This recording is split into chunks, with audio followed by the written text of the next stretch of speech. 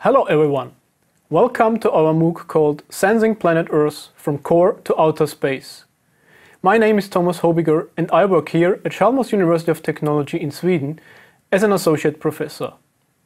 I'm currently helping to develop next generation measurement systems that provides the foundations to detect, monitor and predict global change and its impact on society. I'm also involved in many other Earth science projects and I think that a course like Sensing Planet Earth has been missing for a long time.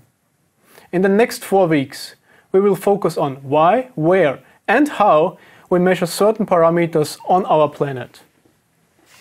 We will study different sensors and measurement tools and learn how we can obtain crucial parameters about how our planet is doing.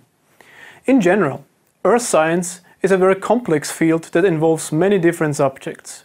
Therefore, we will not be able to cover all instruments and sensors in the four weeks of this course. We will focus on those technologies which are actually dealt with at the Department of Earth and Space Sciences at Chalmers. And you will meet my colleagues who will talk about those sensors which they are dealing with on a daily basis. Therefore, they can give you top-notch insights in how those instruments are working and they will also show you the latest research outcomes based on these sensors. We have also interviewed world-renowned experts who will explain why it is important to sense a certain region of our planet. These Experts of the Week interviews will conclude each of the four modules and will give you some extra motivation to study beyond the topics covered in the course. To test your understanding, there are assignments for each module. Each assignment consists of a number of questions which relate to the content of the module and includes comprehension questions as well as simple calculation exercises.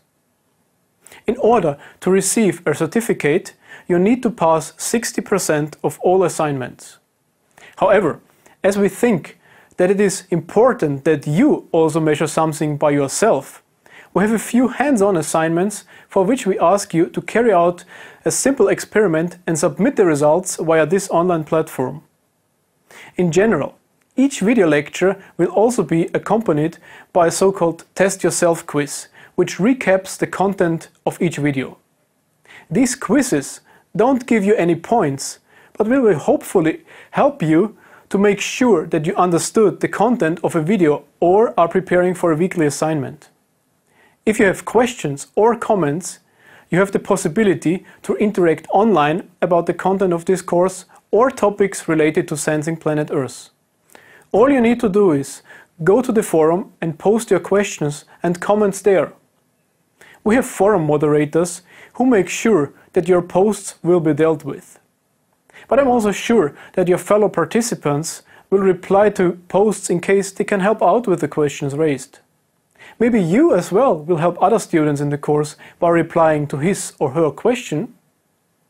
I hope this short video explained most of the organizational issues that relate to the course. But you can also have a look at the course description and the FAQs.